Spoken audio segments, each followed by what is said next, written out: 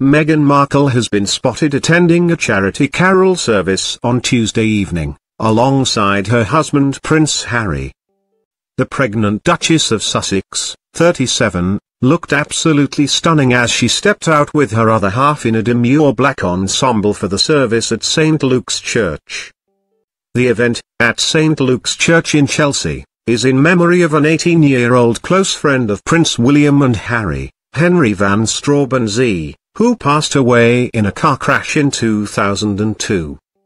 The event was organized by the Henry Van Straubenzee Memorial Fund, a small non-governmental UK-registered charity, which aims to fight poverty in Uganda through education.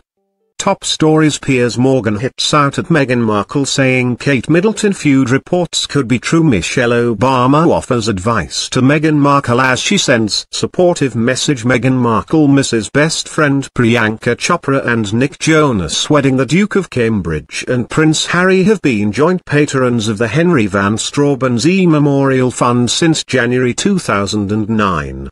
Meghan is currently expecting her first child with her husband, after the pair tied the knot earlier in the year.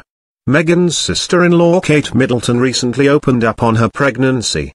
Kate, 36, spoke on the topic while chatting to members of the public outside Leicester University during her visit to the city with husband Prince William.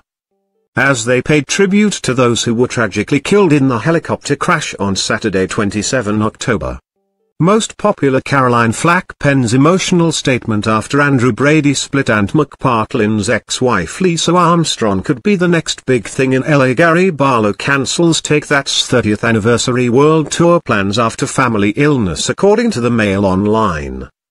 Mother of three Kate was asked if she was excited for Meghan and her new baby, to which the Duchess of Cambridge replied, yes absolutely, no it's such a special time to have all kiddies so it will be really special. During her meet and greet with members of the public, Kate also opened up on her youngest son, Prince Louis. She continued, and a cousin for George and Charlotte as well, and Louis. I can't believe he's seven months now. She gushed, and Louis is getting bigger. He's getting a big boy.